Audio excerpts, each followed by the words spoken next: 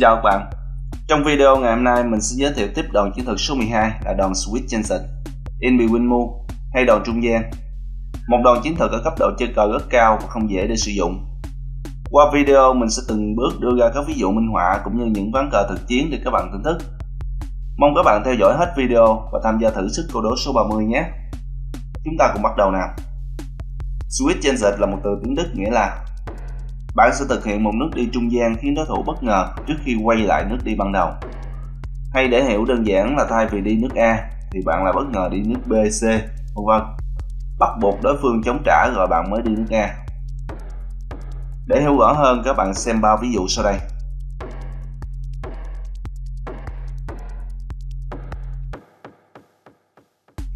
Trong ván cờ này, bên trắng chơi mã ăn tốt E4, gửi thư khiêu chiến đến xe đen đang chấp nhận đội quân bằng cách lấy xe ăn G1.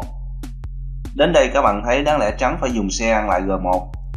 Thì trắng lại thực hiện đòn trung gian bằng cách dùng mã ăn tốt C5 chiếu vua. Dĩ nhiên đen không muốn mất tốt của an, nên lên vua D6 bắt lại mã. Mã trắng lại tiếp tục đi B7 chiếu vua, nhằm đến nơi an toàn. Vua đen trở lại D7.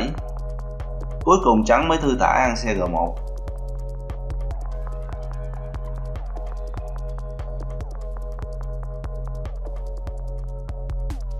Trong thế trận này, số lượng quân tấn công và phòng thủ CC5 đang ngang nhau. Nếu trắng vội đổi quân thì không được lợi gì nhiều, nên trắng có một nước cờ khá hay là hậu B5. Nếu xe đen ăn C2 sẽ mất hậu, còn nếu xe đen ăn hậu B5 thì trắng không dùng tượng ăn lại hậu mà đi một nước cờ trung gian là xe ăn C8 chiếu. Buộc vua đen F7. Sau đó trắng mới dùng tượng ăn hậu A7 và trắng lợi hơn đen một tượng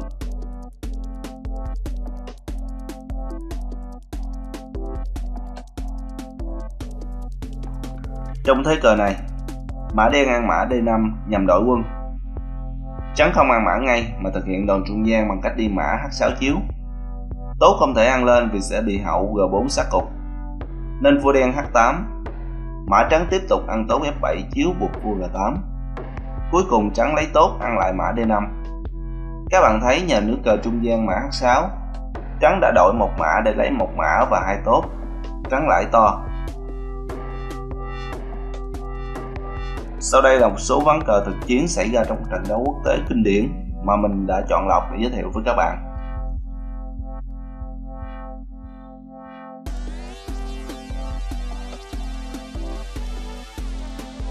Trong hình cờ dưới đây, quân số hai bên đang cân bằng. Trắng đang tìm cách tiến tốt xuống để phong cấp, nên tốt trắng đi C6. Để giải tỏa áp lực, bên đen đã suy nghĩ ra một kế đó là dùng tượng ăn mã C4 Âm mưu để cho tượng ăn lại C4 thì vua sẽ lên C7 trấn thủ. Nhưng trong ván cờ thực chiến, trắng đã không vội ăn C4 mà đi một nước cờ trung gian là tượng B6 chiếu. Chính phải nước cờ này thì bên đen chỉ đành phải bó tay chịu trói mà thôi. Còn nếu chơi tiếp, sau khi vua đen qua C8 thì trắng mới nhẹ nhàng quay lại ăn tượng C4 đe dọa chiếu vua theo hai hướng. Mở đường cho tốt thoát xuống. Đen không thể chống đỡ.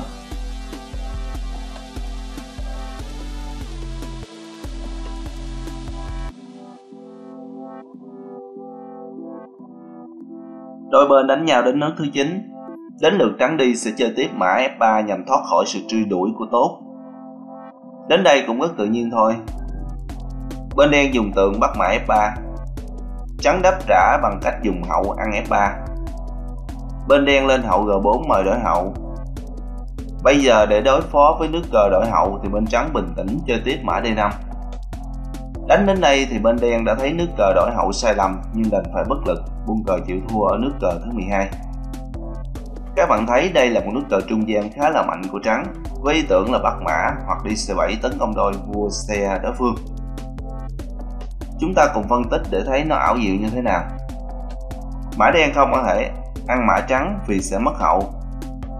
Nếu hậu đen h4 chiếu thì trắng lên tốt g3. Hậu đen chạy và không thể giữ mã còn hậu về D7 hay E6 đều bị chiếu đôi. Còn nước hậu đen về C8 sẽ mất mã. Xét phương án cuối cùng là hậu đen ăn hậu trắng F3. Trắng chưa vội ăn lại hậu mà dùng mã ăn F6 chiếu. một nước cờ trung gian khá hay đen lên vua e7 đuổi mã, thì mã trắng lùi về d5 chiếu vua và được tốt bảo vệ an toàn vua đen e6 đến giờ phút này thì trắng mới tinh quái ăn hậu f3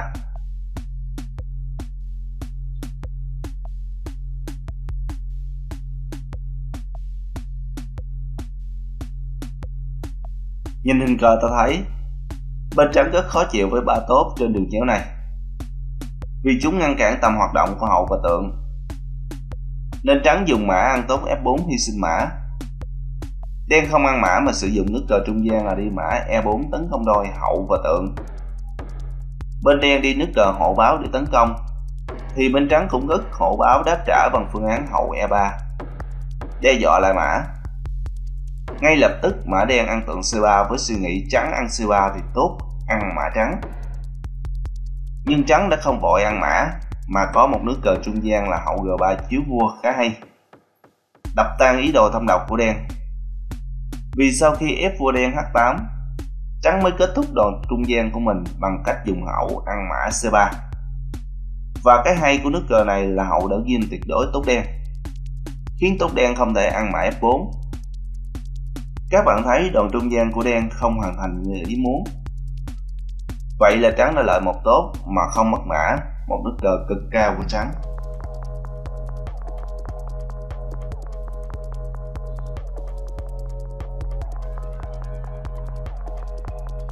Trong hình cờ này. Hai bên đang đôi công rất hấp dẫn. Trắng được quyền chơi tiếp nên đi tốt h3 đuổi tượng. Tượng đen không rút về nơi an toàn, mà vẫn còn hung hăng đi f5 bắt hậu. Vì nghĩ có tốt bảo vệ. Xem ra thì nước chơi này mạo hiểm, chẳng khác gì một con dao hai lưỡi. Hậu trắng nếu chạy hay cản tượng, thì trắng sẽ đánh mất lệ thế trận. Nên bên trắng có một nước cờ rất đột phá là hậu ăn tượng f5 dĩ nhiên tốt sang lại hậu f5 trắng thực hiện đòn chiếu mở bằng cách đi mã e4 dòm ngó hậu đen. Đen biết không thể dự hậu nên cảm tưởng ăn xe trắng. Bên trắng đã lường trước được nước cờ đỏ của đen, nên không vội ăn hậu đen. Mà đi một nước cờ trung gian là mã ăn f6 chiếu vua. Bắt buộc vua đen phải chạy.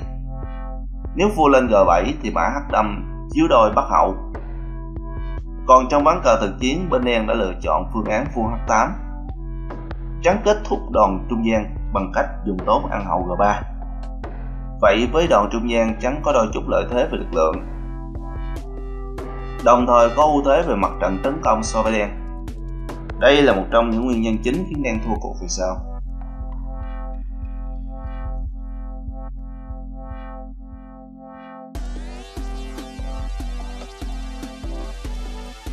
Trong cục diện này, thì lực lượng hai bên không quá chênh lệch, nhưng các quân cờ của đen đang ở thế chủ động. Xe đen đang ghim tốt, hậu có đường chéo rất khó để tham gia tấn công. Mời các bạn xem tiếp diễn biến trận đấu. Bên đen quan sát thấy xe trắng đang bị mắc kẹt. Tượng đen đã đi A6 bắt xe. Bên trắng không thể đem mã che chắn vì tượng đến C4 đe dọa hậu và tốt D5.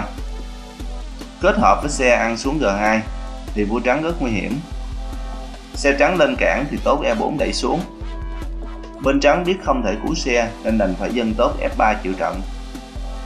Bên đen không vội ăn xe mà đã thực hiện đòn trung gian bằng cách đi tượng C4 bắt hậu. Buộc bên trắng phải đối phó với nước cờ này. Đến đây bên trắng hết đường đánh, thu quân lại thiệt thế. Biết không còn cơ hội nên thở dài buông cờ chịu thua. Vì nếu chơi tiếp hậu trắng chỉ có thể di chuyển đến C3 hoặc C2 Giả sử hậu, hậu trắng C2 Tượng đen ngay lập tức ăn CF1 mà không bận tâm vua ăn lại. Vì hậu trắng đang bị xe đen đe dọa. Vậy với đòn trung gian, đen đã ăn xe trắng miễn phí.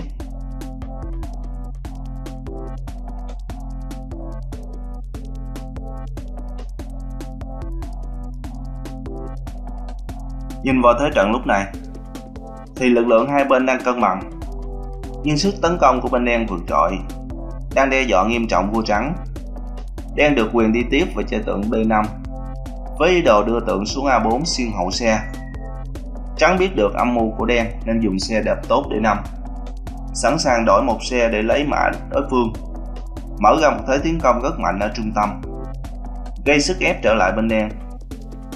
Có thể thấy lối chơi của bên trắng rất là đột phá. Tuy nhiên kế hoạch đó của bên trắng không dễ để có thể thực hiện được. Vì đen không vội lấy tốt ăn xe mà đi tượng A4. Mời đỡ hậu. Nếu trắng dùng xe ăn hậu, thì tượng ăn hậu và đe dọa sát cục xe B1. Bắt trắng phải chống đỡ. Khiến trắng mắc xe. Do đó trong thực chiến bên trắng đã lựa chọn một phương án an toàn hơn. Đó là chạy hậu D2 nhằm giữ xe và tốt C3 đang bị hậu đen đe dọa. Ngay lập tức hậu đen ăn xe D5 và trắng cũng rất tự nhiên dùng hậu ăn D5. Đến đây đen không vội dùng tốt ăn hậu vì sẽ mất lại mã.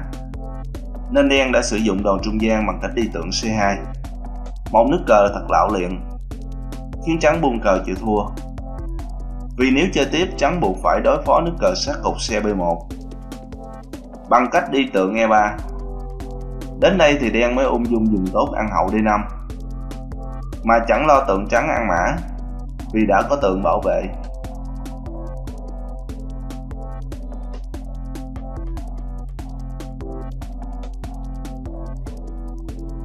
Sau đây xin mời các bạn thử sức câu đố cờ vua số 30. Trắng đi trước và giành chiến thắng nha các bạn. Nếu ai có đáp án, hãy comment bên dưới video. Mình sẽ nhanh chóng phản hồi lại. Cảm ơn các bạn đã theo dõi video. Nếu thấy bổ ích hãy nhấn like và share video này nha. Còn nếu muốn nhận được những video mới nhất từ kênh, hãy đăng ký kênh và nhấn nút có hình quả chuông nhé các bạn. Xin chào và hẹn gặp lại các bạn trong các video lần sau.